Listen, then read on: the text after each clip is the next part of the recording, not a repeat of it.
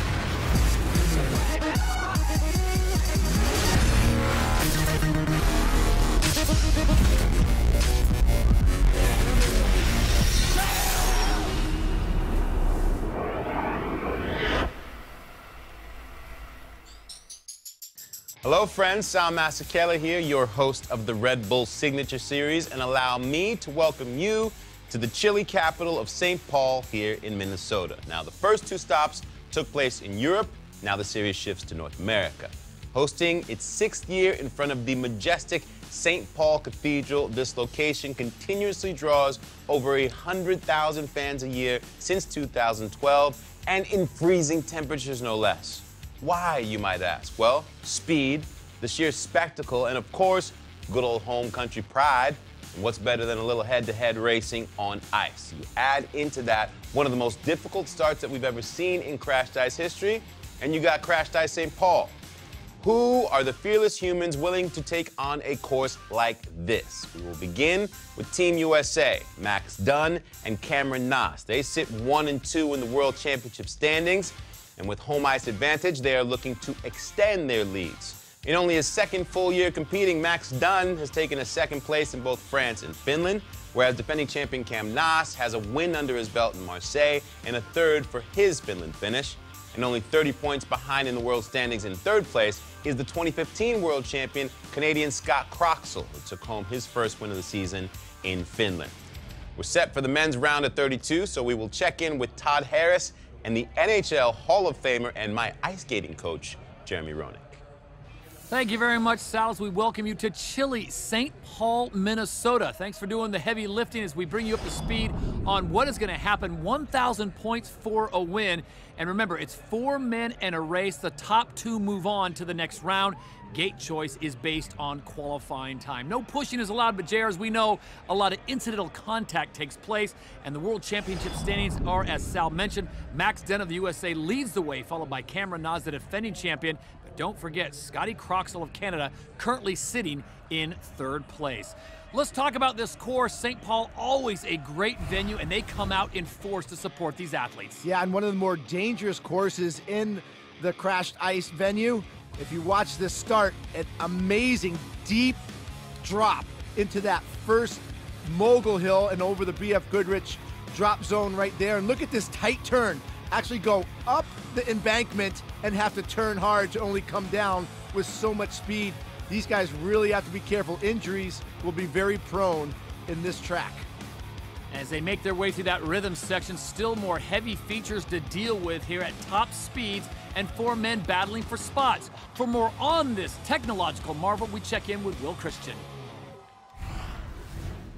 Thanks, Todd. Well, no surprise out here on the weather front. It is Minnesota in the middle of winter and it is cold. About 28 degrees Fahrenheit out here right now. And these below freezing temperatures are making the ice very brittle and giving us some very speedy race conditions. Controlling that extra speed, but knowing where and when to use it on the track is going to be absolutely crucial for our athletes. Those timing tactics are going to start for them straight out the start gates as they face possibly one of the most technical start sections we've ever seen in Red Bull crashed ice history. Another important factor here tonight is going to be racing clean.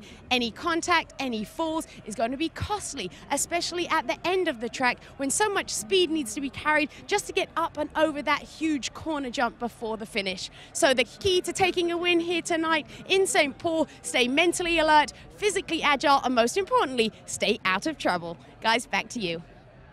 And Will, for you, stay warm as we get set for our first race in the round of 32. It is heat number one. Four athletes with just two moving on to the quarterfinals. And we kick things off with a real bang here with Jim De Paoli. He comes to us by way of Switzerland. Cameron Naasz, the defending champion, second right on your screen. Guillaume Bouvet Morissette of Canada. And of course, Eli Kreider of the USA in the dark blue. Well, Cameron Naasz in front of his state fans. He's from Minnesota. He's going to love performing in front of his family and friends. He likes this track. He's won it before. We'll see how he manages this start. Right down a steep drop in right there. You see he manages it really well. No strides in making sure you come over that first hump in, in control. As they go up the wall right, it is Cameron Naasz. He had issues with hole shots and starts in Finland, not here in St. Paul. Cameron Naasz, the defending series champion, out in front. It is Guillaume Bouvet Morissette of Canada sitting in second place as other athletes in the back having issues with traction, but not for Cameron Naasz. Makes his way up the wall and right back down for an early round of 32 win, taking Guillaume Bouvet Morissette with him into the quarterfinals. Wow, what a smooth run for Cameron Naasz right there just started off so perfect. Look at that explosion out through the gates and then dropped into that hole. Hit, skates hit perfectly at the same time. And look, no strides because you want to come up this first embankment, making sure that you stay tight to the wall, keep that lead. And being tactical is very important here. Coming up over the Dino Bridge, you have to make sure that you keep your speed because as Will talked about, if you don't do that, you're not going to get up that last embankment that's going to take you to the finish line. So it is Cameron Naasz and Guillaume Bouvet Morissette. Moving on to the quarterfinals. We are just getting started in St. Paul. More athletes hit the ice, literally, when we return to crashed ice. You are watching the Red Bull Signature Series.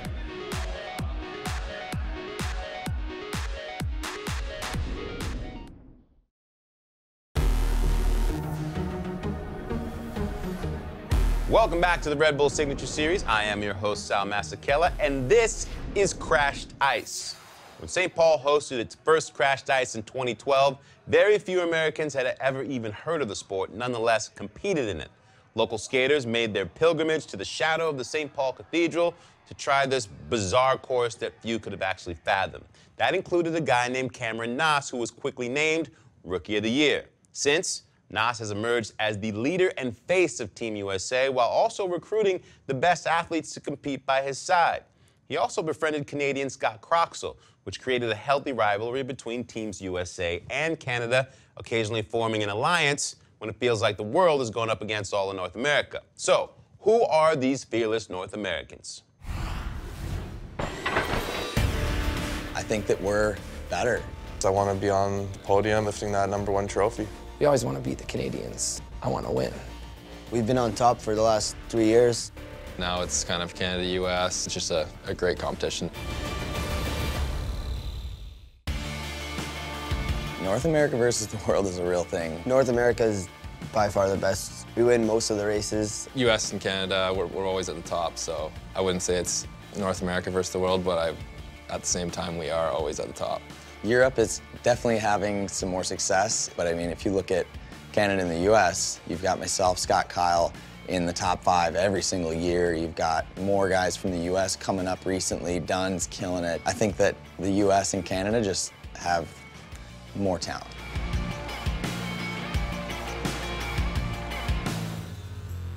Is there a rivalry between Team USA and Team Canada? Yeah, of course there is. It's the biggest rivalry in the sport. We always push each other and we're always talking smack in the locker room and everyone's always chirping each other. There isn't any like animosity or ill will. Everybody just loves to compete. You know, you, you want to beat them when it comes to race time, but you're always, you know, cheering everybody on, so there's that little extra rivalry.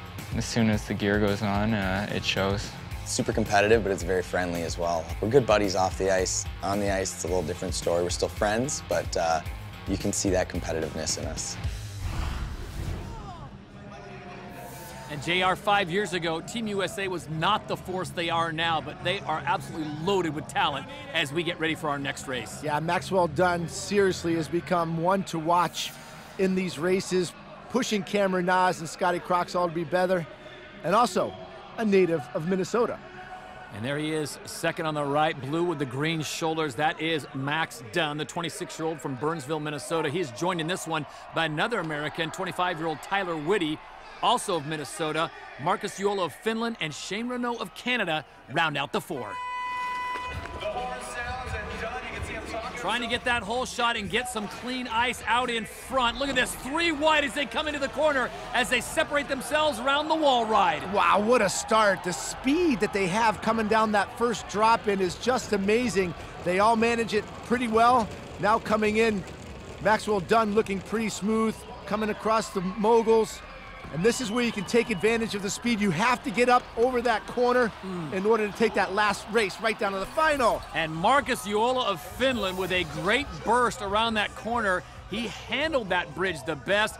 It is Juola of Finland moving on. Maxwell Dunn, also, who led for most of the race, is moving on to the quarters as well. Well, no time to really think about this race. That drop in right there, you have to stay poised and concentrate Look at them coming over those moguls, and it's the timing of how they get in. Look at the battle, the, the crushing of that, that turn. You've got to love the competition. Look, three at one time. It's amazing they could stay up, but again, Maxwell Dunn holding that lead. Tyler Whitty also in the mix. Shane Renault of Canada in the all black out the back, and he has a problem there in the GoPro corner. Yeah, right there. You can't go up too high on that face. As you can see, if you have a bad angle, you won't be able to make that turn very easily. Maxwell Dunn does it pretty easily. And this is where Juola made the turn. Look at this, goes up high, has more speed, and Dunn goes to his knees, but still enough momentum to cross the line. So it is Juola of Finland and Dunn moving on. Right now we check in with Will Christian, who's standing by with Cameron Naasz of the USA. Thanks, Todd. Cam, you seem to have this track very much dialed. You're looking comfortable and confident out there, and you won here last year. How are you feeling knowing that you're behind in the points race right now, but skating the way you are? Feeling good. Uh, it's only the halfway point of the season, so I'm not thinking about points at all. It's just another race, take it heat by heat, and we'll see what happens. Uh, we saw you get out in front early. You kept it clean. You stayed away from any contact. How important is that going to be here in St. Paul? It's extremely important to get that hole shot. If you don't get the hole shot, you're going to end up battling with someone, and uh, it's not fun to battle on these technical features. Great. Thanks so much, Cam. Good luck. Todd. Thank you, Will. As we head back to the top of the course, there you see the beautiful cathedral here in St. Paul, Minnesota. This is heat number three, the round of 32. Vaslav Kostnar of the Czech Republic, Dan Whitty of the USA, Tristan Duggardil of France, extremely fast skater, and your favorite JR, John Fisher of Canada, in the pink, giving us the wave. Yeah, he always gives the kiss and the wave for good luck right there. He has that inside track.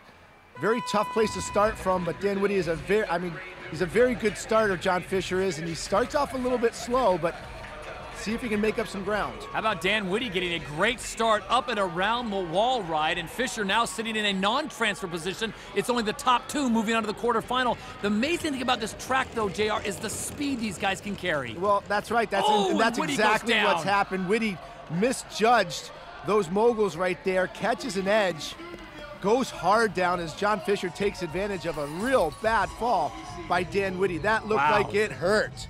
And you know what's bad when John Fisher almost came to a stop to check on Dan Whitty, but it is Tristan Duggardil of France who gets the win. John Fisher comes in a second. That's a great sight to see Dan Whitty coming through to finish the course, but he took a hard, hard fall right on his face and chest. Yeah, if you don't time these moguls in a race that's this quick with the speeds you're going at, you're going to miss that second mogul. There's a lot of double back-to-back -back moguls, And that's what happens right there. His feet hit right into one. He misses the opportunity to pick up his speed. And boy, when you hit these things hard, it hurts. And that ice, as you see, it's so cold. The ice is really hard. And the hit as hard as Dan Whitty did, uh, it's, a, it's just a good thing that he finished the pace. Right here, you see how he hits that mogul right there, stops his momentum, and boom, crashes shoulder first into that last hill. John Fisher coming by just to check on him. She's, he's got to finish the race. One more time, look at this. Again, it's the timing. It's the timing. It's such a dangerous sport. We show you exactly what happens when you're not paying attention to where your feet are and making sure your center of gravity stays in a certain place. And John Fisher does a good job of maneuvering it. Let's check in with Will. Thanks, guys. John, this track is really claiming some of the races tonight. We saw Dan Whitty go down right in front of you. You tried to stop to see how he was. What was going through your mind at that point? Oh, you see someone go down like that, and you're you're, you're worried about him, but you know, racing's racing. There's uh, I'm not the guy to take care of him. The paramedics are, and and uh, you feel for him, but uh, I'm moving on to the next round. Yes, you are. You got a transfer spot. We'll see you then. Perfect, Thanks, thank John. Guys. Thank you, Will. John Fisher's fellow countrymen, Scott Croxall, and the Moriarty twins are yet to hit the ice. We'll have all that when we return to Crashed Ice St. Paul, a part of the Red Bull Signature Series.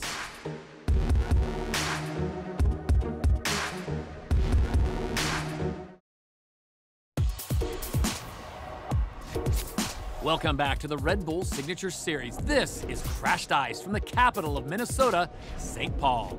Todd Harris joined by Jeremy Roenick and Will Christian, and we are jumping straight into Heat 4 of the men's round of 32. 22-year-old Alex Mercier of Canada, 26-year-old Daniel Bergeson of the USA out of Rochester, Minnesota, Dean Moriarty, the 22-year-old out of Montreal, and Jani Pateri Mintonen of Finland rounding out the four. Top two moving on to the quarterfinals.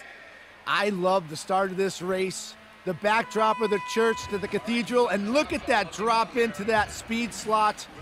As oh, Oh! my gosh, we have carnage early. You see how difficult it is coming into the BF Goodrich wall ride. Out front, it is Dean Moriarty of Canada, the man in pink, being closely watched by American Daniel Bergeson in the black. It is all Moriarty making his way through that rhythm section, and you see the distance all the way back to the flying Finn, Yanni Petteri Mintonen. Again, a very clean race for both Moriarty and Bergeson, taking advantage of an early mishap at the top. This race is so quick, and you see what happens when you're coming over the mogul section, just making sure that you keep your pace, keep your center of gravity, keep those knees bent, Todd. That's the most important part of this race. And again, look at the start. When you miss your feet on that drop in really early, as Minton did, you go over and you're out of the race real quick. Bergeson takes advantage. Moriarty takes advantage. Look at that tight turn. The ice getting chippy right there, but they keep the speed and keep that turn nice and tight. Up onto the wall ride, it is still Moriarty and Bergeson out in front, and they just seem to work together, JR. Yeah, they know that it's the two of them not make a mistake, and they know they're going to move on. Very important that they come over that jump and just keep their center of gravity low. Their shoulders stay nice and poised and square to their skates.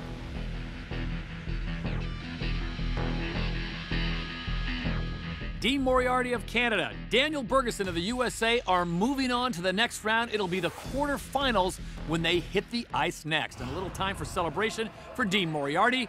He's now standing by with our Will Christian. Thanks, guys. Dean, you seem like you've really got this track dialed in your head. How important is it out there to get into a rhythm? Yeah, it's important to get into a rhythm. I mean, that, that round of 64 is the toughest uh, round of them all. Once you get a clean one there, I think it uh, flows the whole way through the night. And as I spoke to you earlier, you talked about this track being perhaps a little more suited to smaller guys such as yourself as you're more agile. Would you say that's the case as the evening's going on? Yeah, for sure. It's a bit more technical, and the smaller guys have a little bit of an advantage. I mean, we can get some strides where uh, the bigger guys can't, and uh, hopefully uh, stay ahead. Great. Thanks, Dean. Guys, All right, Will, we're moving right into heat number five and another international heat loaded with Canadians and one Swiss rider. Derek Cosamiglio of Canada, Stephen Cox of Canada, and Scott Croxall, number 26. Keep an eye on him. Derek Wedge also in this one. And The 2015 Red Bull Crashed Ice World Champion Scotty Croxall has got to be the favorite here, JR, because of his starts. Yeah, no question. And also Derek Wedge because he's willing to take chances. And that's one thing that you need to do in this short race. Scott Croxall in good position, knows exactly what he needs to do. Gets out in front, right there. Nice move to the inside, allows him to get that first place. Again, Derek Wedge coming in in third. And right now it is Stephen Cox who's in a transfer position, trying not to get wedged out as Wedge makes his way in as they make one more big left-hand turn. And what a finish! At the very end, it is Derek Wedge who looked like he was not going to move on. It looked like Stephen Cox had it all wrapped up. And in the end, it is Scott Croxall and Derek Wedge that'll move on to the quarters. Wow, again, in such a short track, mistakes end up being very costly as it was for Stephen Cox. Here's the start right there. Again, making sure they get up that jump. Perfect, perfect transition right there by Scott Croxall. You see that, that nice tight tuck and getting in there. These guys are crazy when it comes to the speed. And Scott Cox, you'll see when he comes into the last position, here's that first GoPro turn right there. They're all in nice position. But when you miss out on those moguls like Scott Cox did, it totally ruins your rhythm and your speed. And that's where Derek Wedge really took advantage. Scott Croxall coming over again. Again, perfect position. And Wedge coming over, allowing that inside lane to play second and move on. Perfectly timed by Derek Wedge. Scott Croxall, Derek Wedge moving on. The 2015 World Champ is standing by with Will. Thanks, guys. Scott, you're looking strong out there, but you are against a very strong local contingent here of racers. We saw you come in second last year. What's it going to take to take that top spot on the podium this year? Yeah, I'm focused. I've had a lot of success here in St. Paul in the past few years, and um, I'm just going to keep rolling, keep uh, heat, one heat at a time. Good luck. Thanks, Scott. Guys. Scott's brother, the 2012 world champion and three-time winner here in St. Paul, Kyle Croxall, takes on this track when we return to Crash Ice St. Paul, a part of the Red Bull Signature Series.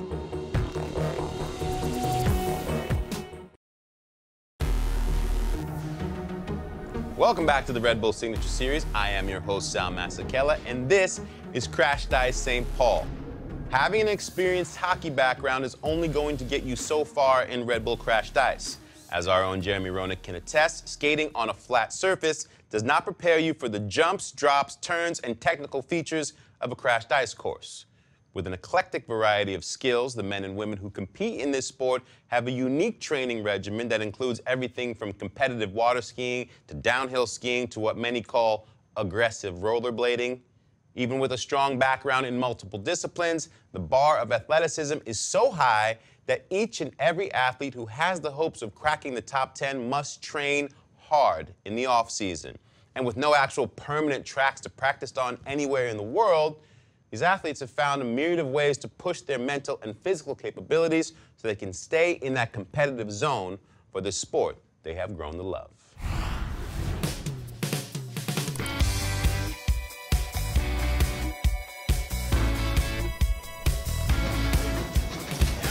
Do a lot of things in the off season to train, uh, mostly in the gym, Tangletown CrossFit in Minneapolis with a group of guys that I work out with. I go to a lot of skate parks, Pineview BMX track up in St. Cloud, Minnesota. So I skate at Acceleration Minnesota, which is uh, skating on treadmills, and they turn on the incline, turn up the speed, do all that sort of stuff for me. I also go to skate parks in the uh, summertime and in the off season, and then as well as hitting the gym, trying to do a CrossFit high intensity type workout. I think our off season is a little different from most of the ice cross downhill guys. In our summer, we're both on Team Canada's water ski show team. So it's basically a 40 minute themed show. We do massive pyramids, barefoot water skiing, ski jumping, basically anything you can think of on the water behind the boat.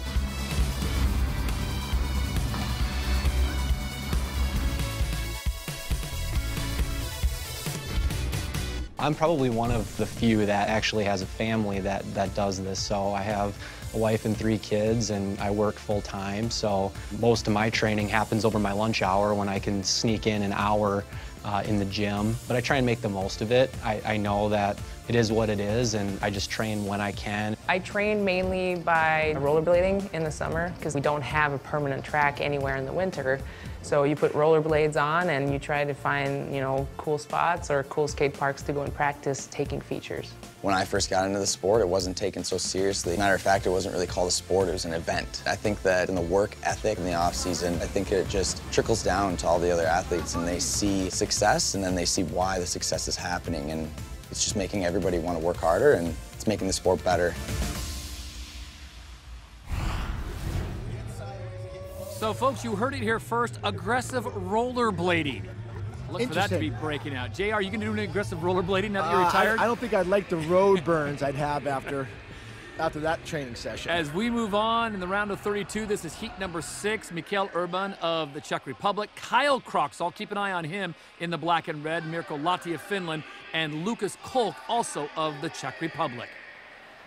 Kyle Croxall needs to get off to a good start right here with his strength and power can really hold off the speed and the moguls of the start and he does that just perfectly right there as he comes up over the BF Goodrich wall ride. What a quick turn by Kyle Croxall allows him to get out of there unscathed. And he is a big man. No easy task getting around Kyle Croxall, and that's the case right now for Mirko Lahti of Finland, who sits in second place. So Croxall out in front, Lahti sitting in second place. What's on the line? The top two spots are moving on to the quarterfinals, and it'll be From start to finish. Lahti of Finland taking second.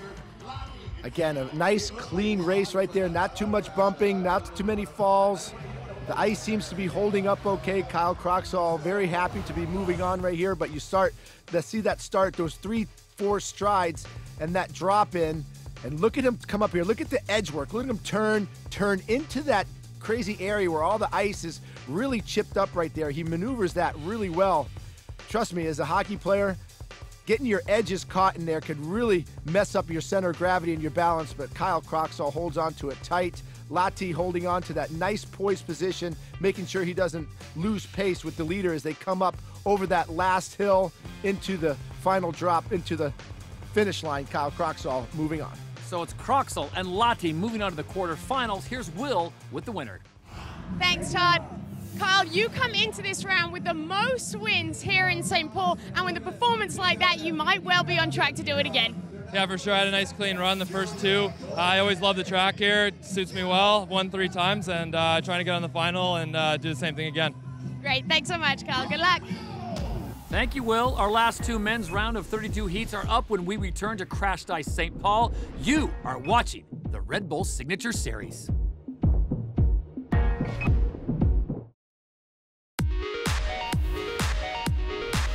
Welcome back to the Red Bull Signature Series in Crashed Ice. Over 100,000 fans are brazing the cold of St. Paul for a glimpse of ice cross downhill greatness. Todd Harris alongside Jeremy Roenick as we get set for Heat 7 of the round of 32. A lot of top Americans in this one, TJ Albrecht, the 29-year-old out of Minneapolis, Minnesota. Marty Niefnecker of Germany, Luca Dallago of Austria, and Tori Mers, also of the USA, out of Lakeville, Minnesota, just 24 years of age. Why is it that all the crashed ice guys from U.S. are from Minnesota? there must be a lot of hockey out there. Everyone right now is chasing the man out in front, and that is Luca Dallago of Austria. This guy just shot out of the start like a bullet. The man trying to track him down is Tori Mers of the USA in the black and white stripes. Again, look how they got prepared for these four moguls right there. They all got around them pretty easy, and it's coming over this last dyno bridge to get that speed that gets them up propelled over the final turn. Wow, Luca Dallago, that has got to be one of the fastest eats we've seen so far. Tori Mers is in there. Unfortunately, Marty Niefnecker and TJ Albrecht have been eliminated. Yeah, this was a smooth race right here, and look at the technique right here. Kind of strange, but he gets all the way to the top of that mogul, and this one again right here, just lifting his knees, not really propelling himself over that last ledge. Finds himself a little bit out of control, but manages to hold on to it. That's what makes the start of this race so tough for these competitors. Luca Dallago using his own form as he flies over that one obstacle, but it puts him out in front as Tori Mers was close behind but unable to close that gap. God, the strength in these guys' legs is absolutely incredible. Take away the ice conditions, but it's the, the height of these jumps and making sure that they keep their legs in good position, their heads in good position, their bodies in good position. I'll tell you, the concentration is amazing. An amazing air awareness by both of those men as they are moving on to the quarterfinals. As we go back to the top of the hill, heat number eight, Dylan Moriarty of Canada, Tommy Mertz of the USA, Marco Dallago of Austria, and Michael Iggy Ilianello of the USA, coming out of Charleston, South Carolina, but he's originally from Rochester, New York. Well, we'll see if Marco Dallago can join his brother Luca Dallago in the next round. Two brothers that thrive in this competition and love this track right here because they love speed. And what a difference this course is from what we saw in Finland. The one in Finland twice as long. This one, JR, more of a sprint, but man, you better be on your center of gravity. Absolutely. There's no question that one little mistake, whether it's a skating mistake or an angle mistake, or it's just a timing mistake that you can have right here on these moguls, they all go over them just perfectly, making sure their heads stay in perfect position and use those knees as shock absorbers. And what a final we got coming down to down the end. Down the wire. Marco Dallago looked like he had it sewn up, but it's Dylan Moriarty who comes through at the end. It was like a Talladega turn in NASCAR, three wide, and it is Moriarty of Canada that's moving on. Marco Dallago also getting a transfer position. Wow, you see the excitement at the finish. There's excitement in the start. The best race that we have seen so far. Again, no strides as they come through the speed slot off the start, coming into the GoPro turn. Again, that steep drop right there, you have to get into perfect position to make that tight turn. Look at everybody dragging off each other, coming down into that nice slip, slippery cove. Boom, nice tight turns. But this final stretch right here, to be able to come up out of the air and then make that turn to dash for that final spot at the finish line, Todd, it is unbelievable. And some sliding and some striding. But it's the skate that counts as it goes across clearly. Dylan Moriarty of Canada gets the victory as Dallago gets second. Let's check in with Will Christian. Thanks, Todd. Dylan, I think you had to work for that win harder than we've seen anybody so far this evening. Talk me through that. Yeah, I got uh, I got caught in round 32 with Tommy Mertz and Marco Dallago, two amazing skaters, and uh, just got a. I had a good gate start, just ended up in third. Waited the whole track really patiently, and uh, knew I can pass at the end, so I took it on the inside and passed both of them and ended up finishing first. Just gotta get up the gate starts and try to get that hole shot to win it. Fun to watch. Thank you, Dylan. Todd. Thank you, Will. The quarterfinals are set, and the World Championship points leader Cameron Naasz and Max Dunn face off in our first heat. Stick around. This is Crashed Ice St. Paul, a part of the Red Bull Signature Series.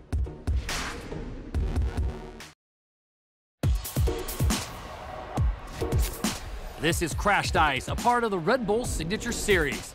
Team USA fans are ready for our first men's quarterfinal, which includes favorites and World Championship points leader Max Dunn and Cameron Naasz. And this one is absolutely loaded with Guillaume Bouvet Morissette, who's been very strong young man out of Canada, Marcus Juola of Finland, and Cameron Naasz, the 27-year-old out of Lakeville, Minnesota, and Maxwell Dunn, 26 years of age, out of Burnsville, Minnesota. Definitely two of the favorites in St. Paul. Cameron Naasz, Maxwell Dunn. Cameron Naasz loving this track. The speed is so perfect for him. His lower body, Todd, his legs are so strong. Perfect for the first part of this race as he gets over. Very, very fluid over the first moguls and up into the BF Goodrich wall ride. Look at how quickly he gets around there to open up his lead. Carrying a ton of speed, Cameron Naasz out in front. He's got Maxwell Dunn on his sixth. And four years ago, you never would have said the two Americans coming into this quarterfinal are the odds-on favorite, but they are showing it here as Cameron Naasz and Oh Maxwell Dunn going down hard, but it's close enough to the finish line that he gives himself just enough insurance to get to the finish. But wow, almost missing out on the semis is Max Dunn as he has a crash right at the finish. He's in a bit of pain. Wow, and if I get this right, he landed right on his head as he came over that last mogul. This was that turn at the BF Goodrich wall ride. Cameron Naasz, look at how tight he makes that turn, staying in on the nice clean ice as he extends his lead as Dunn behind him holds his footing. Gets a little bit late there with his back foot, but again, the agility and the athleticism that Maxwell Dunn showed there. Again, keeping on that nice ice. That's where we lose one of the competitors. And then it's a race around this last corner. And this is where they can really open up some spaces. Right there, bang! He hits his hmm. head. Maxwell Dunn, unbelievable that he can get up with his face, be Yeah. able to get down in there. If it wasn't for the oh, the contact of the head on the ice. But again, the strength Maxwell Dunn showed right there to allow himself to finish the race is incredible. Naasz and Dunn are moving on to the semifinals, and Max is with Will. Thanks, guys. Max, there was a lot of nervous fans out here watching yourself and the points leader Cameron Naasz face off so early in the quarterfinals. And then you took that fall. Everybody held their breath. What were you thinking at that point? I, um, I was nothing. I just felt the pain and it was like, I gotta get up, gotta get up, make it. I honestly, I thought someone would pass me, but no one was there, so I just kept fighting. And what's it going to take at this point, you think, to take the win here tonight and perhaps move on to the championship in, in Ottawa? No more mistakes like that one. I gotta get clean runs. Thanks, Max. Guys, All right, Will, we are moving right back to the top of the course. This is quarterfinal number two, and another good one. Two men in pink in this one. You've got John Fisher and Dean Moriarty, the Canadians, then Tristan Dugardil of France, and Daniel Bergeson of the USA. Bergeson's in the all black kit. Yeah, this strength, I think, is what, what going to hurt John Fisher in this one. Coming down this first leg, we talk about how strong Kyle Croxall and Cameron Naasz are. John Fisher, I think, is really struggles off the start like that. And as we can see, he's in fourth place with the GoPro on his helmet. Bergeson there with a beautiful inside line, trying to move from third into second. And now he's got a great battle going with Francis Dugardil. But out in front, it is Moriarty, Dean Moriarty, the 22-year-old out of Montreal, leading the way. Yeah, this is the straightaway that they have to really be careful. Those bumps right there are higher than they seem, and this is exactly what happens. If you get too much air, landing that is pretty tough, and Moriarty and Bergeson come in 1-2 and move on. What a finish. Dean Moriarty in the pink with the Canadian leaf on his back. A great finish. And Danny Bergeson of the USA, strong as well. Yeah, good start again, coming off into that first drop in. As you can see on the left hand side, Fisher not as strong as the other competitors, a little bit more cautious coming through the start through the BF Goodrich wall ride. Moriarty handles it really well. A nice pass right there by Bergeson.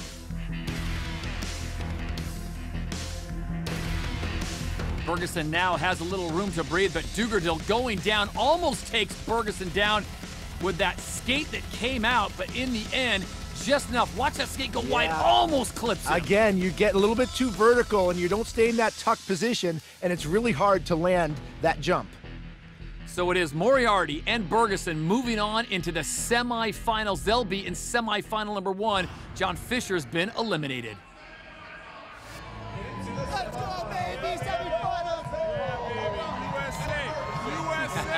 Both men proud to be moving on here in St. Paul. Our next quarterfinal is getting ready in the gate with fist bumps and high fives. More racing action when we return to Crashed Ice St. Paul. You're watching the Red Bull Signature Series.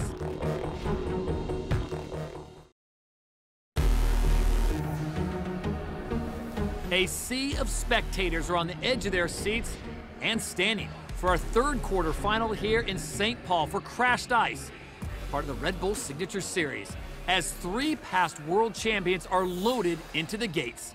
This might be one of the best races of the night right here. The two Croxall brothers. Scott Croxall's been dominating. Kyle's a big, strong brother. And then one of my favorites, Derek Wedge. We already talked about his crazy way that he tackles these, these races. I love the way he's always on edge. He'll take chances in this race. Scott Croxall will get the lead, the man in black, but it's his brother right on his left-hand side. So a dangerous for the rest of the field. The Croxall brothers are going one and two. Wedge on the outside looking in, the man in fourth place. Yeah, not a surprise that we see Scott Croxall out to an early lead. He's going to want to hold it because he knows strength is important. He knows his brother is bigger and stronger. Nice transition up to the wall, over the Dino Bridge, and look Whoa! at the look at that's the guy I was talking about. Look how much that Daniel Wedge actually went after. Derek Wedge goes crazy over that to try to make up ground, but it's not enough as the Croxall brothers advance. Mirko Lahti and Derek Wedge doing anything they could to get past the wall of Croxall, but it's not to be, as Scott Croxall, his brother Kyle, they are also into the semifinals. Yeah, there's a reason why the Croxall brothers have dominated this sport for so long. Actually, Kyle dominated this before Scott. Scott has really improved over the last couple years and now probably better than Kyle, but they're showing their strengths right here. Lahti hanging in there tight. Look at the poise. Look at the way that their knees come up. Their head really doesn't go up too high. And even when they get out of position a little bit, their strength, they're able to overcome it. That's why these guys dominate the crashed ice races. And this is what I love. Look at Derek Wedge comes over this and tries to get something a little extra to get in there, but was not able to hold the landing and finishes fourth. He went for the high risk, high reward maneuver, but it was Kyle Croxall that had that line covered. Look at this. Just launches himself as Wedge comes up just a little bit short and the Canadian flag is flying. The Croxall brothers are into the semifinals. So take a deep breath and get ready for our fourth quarter final. Another great one, loaded with talented athletes. Dylan Moriarty of Canada, Marco Dallago and his brother Luca Dallago in this one together, and Tori Mers of the USA, the 24-year-old out of Lakeville, Minnesota. So it'll be interesting to see, like the Croxall brothers, JR, if the Dallago brothers can work together. Well, it seems like the brothers, they always seem to do very well in this competition because they train together, they have that competition together, and always have seem to have the, the best technique. So uh, helping out each other as brothers is, is a big bonus here, and especially in St. Paul right here. The Dallago brothers love fast ice. Oh, and out in front, right off the bat, the man with the yellow shoulders, that is Luca Dallago in front. He's the younger brother of Marco. These guys are going after it. They are not afraid of this track right now, not afraid of the injury. The ice seems to be holding up okay, but the speed, oh, oh. my gosh, I spoke too soon. Two athletes going down face first on the rock hard ice, and that is gonna allow the Dallago brothers to coast home. What a finish, but wow. amazing carnage out the back. Gotta make sure both those guys are okay. Wow, what a hit by Dylan Moriarty first, and then Tori Mers of the USA also taking a hard digger into the ice. Yeah, we talk about carnage. We, we saw earlier Maxwell Dunn falling, hitting his head.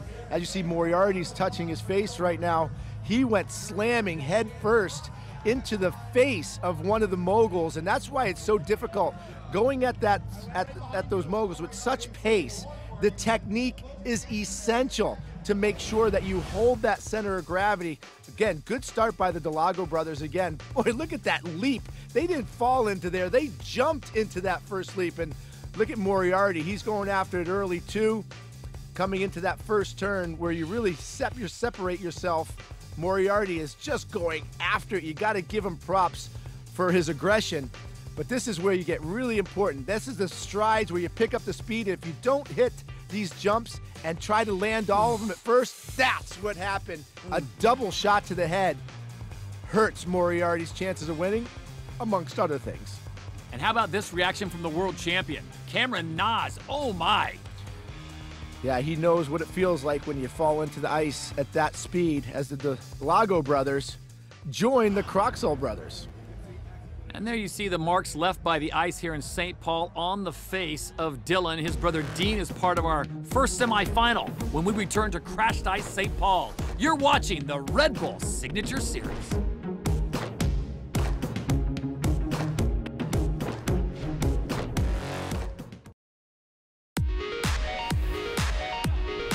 Welcome back to the Red Bull Signature Series. Our first men's semifinal is in the gate here at Crashed Ice, St. Paul. Todd Harris alongside Jeremy Roenick, Will Christian. As we get ready, Daniel Bergeson is in this one out of Rochester, Minnesota. Dean Moriarty, who just watched his brother Dylan knock himself silly. And then, of course, the reigning world champion Cameron Naasz and Maxwell Dunn of the USA. Three Americans, one Canadian in this one. And odds on favorites got to be Cameron Naasz on the left side of your screen there if he gets that hole shot, JR. Yeah, well, Moriarty also is another guy that's I'm going to look at with the speed that he has. I'm sure he's going to be really cautious after what just happened to his brother. But again, look at Cameron Naasz come out. Perfect transition. Nice poise through the GoPro turn. And here's where he's going to separate himself and really take off with his power strides. And look at this, Dean Moriarty, you called it. The 22-year-old out of Montreal trying to track down the reigning world champion, the man in peak. Moriarty having his issues with the Americans, but he gets around the last corner. It'll be Cameron Naasz and Dean Moriarty moving on. Let the celebration begin as those two men are into the final. What a race. Wow. Unfortunately for Bergeson and Dunn, their night is done. Well, uh, there's Maxwell Dunn climbing over the wall right there. If you remember what happened to him early in the race, he banged his face coming into that last turn, and it seemed like that he was thinking about that. Right.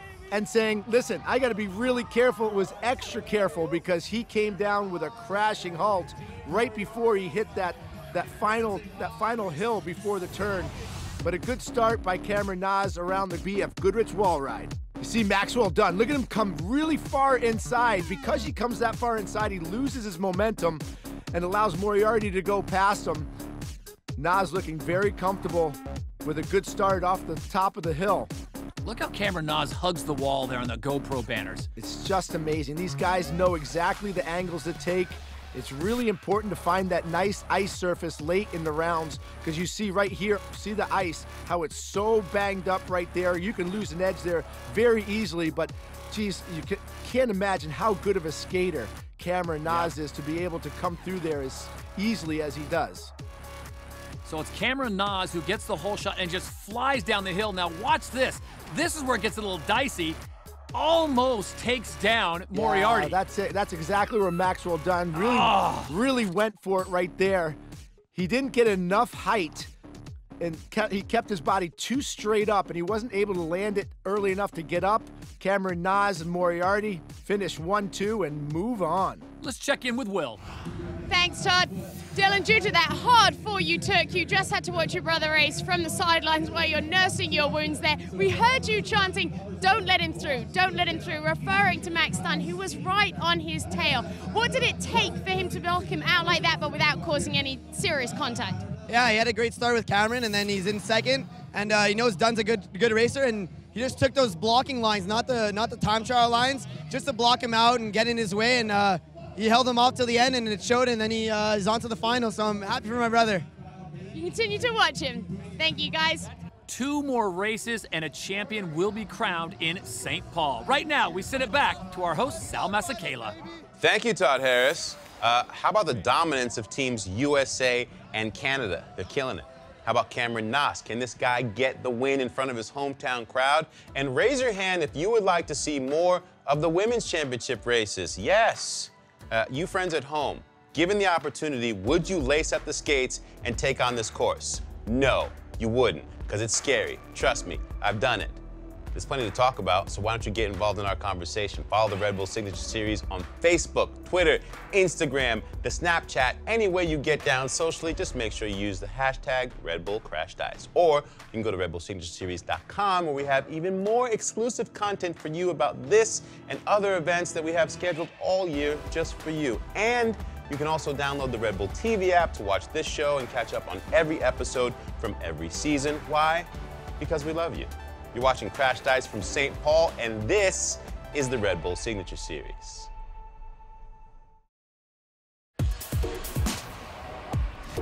Welcome back to St. Paul, Minnesota for Crashed Ice, part of the Red Bull Signature Series.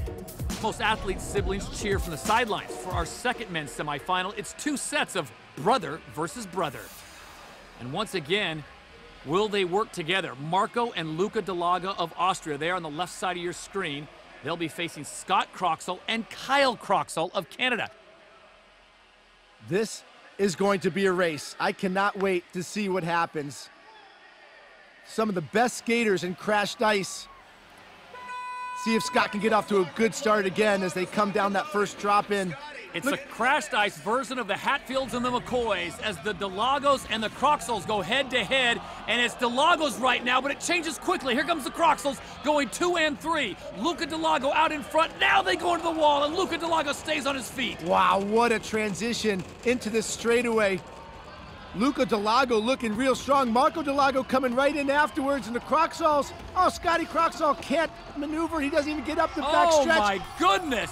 And, and it's it, an upset, I think. What do you think? That's unbelievable. The Dallagos The advance. Dallagos go one and two, and the Croxalls are eliminated. And immediately, Kyle Croxall is talking to one of the officials. Well, there was a lot of contact in that race. I'm sure Kyle is wondering. We got to look back and see if there was any Yeah, contact that was not legal. As you see, Scott is going to be done because he couldn't even finish the race. Very surprising about that. Well, let's go back into the replay and see we can see what Kyle's arguing about. If you see at top, Luca grabs Scott's helmet right there, even knocks the GoPro right off his helmet, and then the battle ensues as Marco goes down because he cut that corner too much. And then it's coming into the next corner where I think Kyle and Scott get a little agitated. The battle is intense here as they come around. Kyle actually gets in, in place and in position, but you see here again, look at Marco. He cuts that corner too much. Kyle gets inside. We already saw the GoPro go down. A tremendous Yeah. battle by these three, but watch coming into the next turn. You're going to see Luca. He's going to have a lead and hold off Kyle right there, which causes hmm. Kyle to go into the boards. We'll see it at a better angle right here. This is the end of the race. Kyle clearly now in third place as he pulls up, immediately crosses the line and checks in with the officials. But I think they're going to get Luca Dallago because he had not one but two shots to the face of a Croxall brother. Yeah, I'm way ahead of myself, but I'm excited because it was such a good race. And Kyle is all frustrated, as Scott is, with Luca Dallago. And we're going to see some right Here around here. Look at Luca holding off Kyle with his left Mm. hand, actually takes him off of his edges and smashes him into the boards. Amazing that all three of them stood up. But watch the face of Kyle as he starts his stride right after. You can tell the anger is just zipping through his body. There we go. So Kyle Croxall, the gloves come off immediately. Marco Dallago smart enough not to take his gloves off. Meanwhile, Scott Croxall having words with Luca and not happy about him not once but twice going up high with the hands into the face of a Croxall brother. The hockey instincts are coming out. Yeah, Scott Croxall is not happy, and the official ruling is now coming down. Marco Dallago and Kyle Croxall will be advancing to the final. Luca Dallago is disqualified, and Scott Croxall has a DNF. You cannot go backwards on the course, so if you don't make the hill climb at the end, you do not finish. But tempers flaring there, and Scott Croxall is not happy.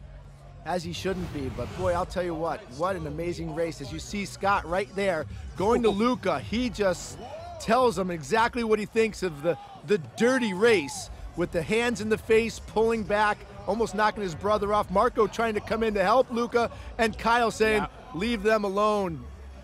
See, this is more my style, Todd. Looks like we're going to You love the technique of the gloves coming oh, off. Oh yeah, we're gonna go into an old-fashioned hockey brawl right there as Scott Croxall very disappointed that he couldn't finish the race and move on. just gives Luca Dallago a nice shove to the ice in St. Paul.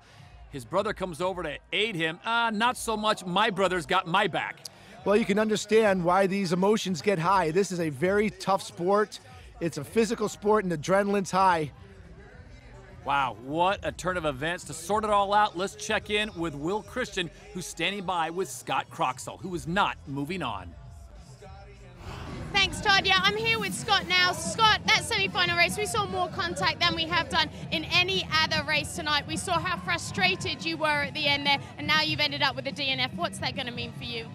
Um, it just means I scratched this race, and I look forward to Ottawa and uh, try and get back on that podium. We saw you getting in there a little bit at the end with the Dallago brothers. Talk us through what happened in the race from your perspective. Uh, yeah, it wasn't really clean racing on their part. Um, you know, they kind of took me out right at the first turn on the wall ride, um, and then after that, next turn I got taken out again. So um, you know, it's not very good sportsmanship. Uh, not not good to see it from those guys. You know, they're supposed to be buddies of ours on tour, and uh, it's not just not clean racing. Uh, it's not good to see. Your brother has made it through though, so we'll let you go there so you can watch him and support him in the final. Guys, back to you. Well, that sets up an amazing final as things have calmed down just a little bit here in St. Paul. Before we get to the big final, let's check in with Sal Masekela. Thank you, Mr. Harris. We are down to our final four with a chip on his shoulder. Kyle Croxall again facing Marco Dallago on the ice for the men's final, joined by Cameron Naasz and Dean Moriarty. Kyle, Marco, and Cam, they've all taken home first place trophies from St. Paul. Will experience actually help them to cross the finish line first, or will Dean Moriarty be like, no, it's my turn? We're gonna find out when we return. You're watching Crashed Ice from St. Paul, Minnesota, and this is the Red Bull Signature Series. Before we get to the men's final, the women's final is getting into the gate. Let's send it over to Will Christian on an update on the points for the Women's World Championship. Thanks, Todd. Well, American skater Amanda Trunzo came into the St. Paul race here tonight with a 350 point lead over Canada's Jacqueline Legere. That means that potentially she could actually wrap up the World Championship here tonight. But in order to do that, she must place at least second. Now, Jacqueline didn't make it through to the final. All eyes are going to be on Trunzo. Can she handle the pressure? Guys, back to you. Thank you, Will. We're about to find out here in the women's final from St. Paul. A loaded field, but all eyes will be on 27 year old Amanda Trunzo from Blaine, Minnesota. Does she have the goods to deliver tonight and take home the title before we get to Ottawa? In this lane, it's Tamra Kajah, the 25 year old from Ontario. Next to her on her left, it'll be Sadie Lundquist, the 25 year old American out of St. Paul. The veteran of the group, 30 year old Miriam Trepanier of Canada. And wrapping up the final, 27 year old Amanda Trunzo from Blaine, Minnesota. She needs to finish first or second, and the title, the overall title, will be hers. Well, this track is so difficult. Strength is vital. With these women battling it out, it's going to be very important their pace and how fast they can get over some of these hills. You know, leading into that final turn, that uphill is going to be detrimental if you don't have any speed. We'll see if they can handle it. And a great start by all of them as they check up their speed. Trepanier out in front, and then Trunzo immediately digging herself a hole as the two Canadians, JR, go out into the front. Yeah, Trunzo just not getting her feet underneath her as she comes down, makes a little bump right there, and tough situation for her to try to gain that championship. So Kajah and Trepanier lead the field. Trunzo trying to make up the distance, and one Canadian goes down, and just like that, Trunzo now in second place. If she can maintain this position, the title is hers. Oh, and she goes down! One turn away from claiming the overall title, and it's Marion Trepanier of Canada who gets the victory. Amanda Trunzo will have to wait another event to try to wrap it up. What a turn of events, JR. Right before that last turn, Trunzo was in second. That's all she needed to wrap it up, and she can't complete the deal. Well, it started at the top, and Trunzo had some problems getting into that drop zone. You see her skates getting a little out of control, a little bump right there. She hits that roller, stops all of her momentum. Doesn't hurt her too much here as the Canadian skaters get out to a nice lead, buffering that speed right there, coming up over that BF Goodrich wall ride. See, the ice is really, really chopped up. Finding that clean ice is important. These rollers, again, if you don't go over them at the right pace, you see what can happen. A head over heels takes you right out of the race real early. Trunzo still in a good position, but there it is, that one spot right before that little hill, and she is down and out. Yeah, and unfortunately, you see the little bump right here. Look at her skate. She toe picks right there. Her knees come up, she goes off balance and falls right into that hill, and the momentum, no way she can get up over that last turn. And Will's with the winner. Thanks, Todd. Miriam, huge congratulations to you. Your first win of the season. You know there's a strong women's contingent out there. We saw Jacqueline go out, but Amanda was right there with you. What did it take to bring home the win here this evening? You know, from the start, I just knew I had to do my race and not worry about anybody else on the course, and that was my focus throughout the evening, and that's what I did, and that gave me the win tonight. Now, we saw you win in Canada last year. Now we're going into Ottawa for the next race. How are you focused going into that last race of the season at home? You know, I'm going to try to carry that momentum into the Ottawa race. Of course, I'll be at home. But again, all I want to do is do my race and let everything else happen, and we'll see what goes on in Ottawa. We'll see you then. Congratulations again. Guys, back to you. Marion, well done as she gets the victory here in St. Paul as the 100,000 plus fans have braved the cold temperatures for this, the final race of the evening. And it is a good one. After all we've seen tonight in St. Paul, it comes down to one race. Marco Dallago is here. Dean Moriarty is also in the race. Cameron Naasz, the defending world champion, and Kyle Croxall. Well, I'll tell you, Marco Dallago, what he's been through in that semifinal with a near fisticuffs. Then you've got Dean Moriarty representing Canada. Next to him, though, he's got the speed merchant, the defending champion, Cameron Naasz, the 27-year-old from Lakeville, Minnesota. And let's not forget Kyle Croxall, Jeremy Roenick. His emotions are sky high. Yeah, and he got into this final with a disqualification of Marco Dallago's brother. So he's all happy to be back in the final. It's been all Scott Croxall, but not in the final. It's Kyle this time, and Cameron Naasz in front of his home, home fans of Minnesota, and Dean Moriarty having a chance to have his first ever crashed ice win. It is speed versus strength as Cameron Naasz goes to the front, but not quite sure of his blade positioning. And look at Moriarty, takes the spot. Cameron Naasz will have to work from behind. God, you gotta love this GoPro view right here as they come around this last stretch. All of them very smooth, and then, very important, hit these moguls perfectly as Moriarty does. Comes up over that last hill that's gonna zip him up here it is, corner. the final corner. Moriarty, can he stand his feet? And he does, just ahead of Cameron Naasz. Oh my goodness, Marco Dallago was in fourth and dove across the line.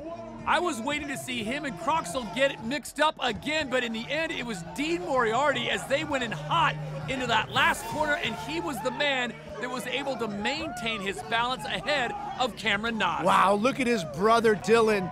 Just he probably even more happy than his brother is watching this race. What a great start that's Kyle Croxall jumping out, just falling into that first first dip. Look at Moriarty. Look at Cameron Naasz, how tight he makes this turn. One of the best skaters in the world. His hockey background obviously helping him with his edge work, but Moriarty going after oh. his first win. Look at this. This is just amazing. All four competitors, tight turns. Again, in tight, you see Cameron Naasz bumping the boards right there, probably losing a little distance, and Moriarty finding that area to make this last turn, and he just absolutely turns it on coming around this corner. Look at Nazi gets held off by Moriarty's arm. Right there, look at Moriarty's right arm that keeps Cameron Naasz out to the outside, he can't hold his finish as he goes into the boards. Kyle Croxall goes down, and Moriarty finds a way to get over the finish line for his first ever oh. Crash Ice Championship victory. What a finish. Look at the camera work by Dallago. He sees the carnage in front of him. Moriarty able to stay on his feet and by a matter of inches, just edging out Marco Dallago. Look how close this is. It's the blade that has to cross. Oh, that's about eight inches. Wow. Look at that. What a finish. Congratulations to Dean Moriarty. He gets the win. Dallago second, Cameron Naasz third, Kyle Croxall in fourth as we set it down to Will and a winner.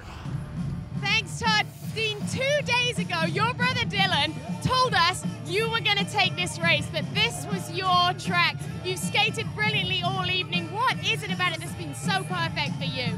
I mean, I skated good here uh, last year, and it's almost the same track, and I made a mistake on the dyno last year that cost me, and uh, this year I just improved on that and uh, took it home. Is there a sense of redemption after you finally getting this St. Paul win? Yeah, for sure. I had a bad start to the season, and just coming here in North America, I'm going to have a better second half, and uh, it's a good start here. Congratulations, Dean. Go and enjoy it. Guys, there's our champion. Back to you. Thank you, Will. It's now time for our Red Bull signature moment, and it goes to Team LTD skater and today's winner, Dean Moriarty. Coming in second two years ago, Dean came to St. Paul ready to finally prove that his skating skills could take him all the way. By keeping a cool head and staying on his feet, he was able to slip past the carnage and finally skate to the top of the podium. Congratulations to Dean Moriarty for his first ever Red Bull Crashed Ice podium and today's Red Bull signature moment.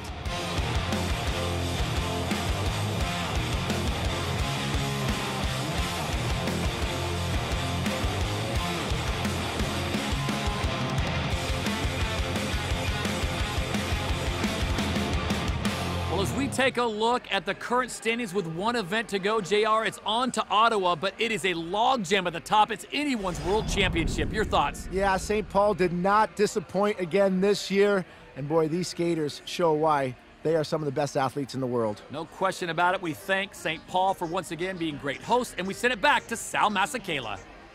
Thank you, Todd, and thank you for joining us here at Crashed Ice from St. Paul, Minnesota. Congratulations to Team Canada's Dean Moriarty and Myriam Trepanier for taking the top spots in the men's and women's divisions, respectively. And congratulations to the Austrian Marco Dallago and American Cameron Naasz rounding out that men's podium.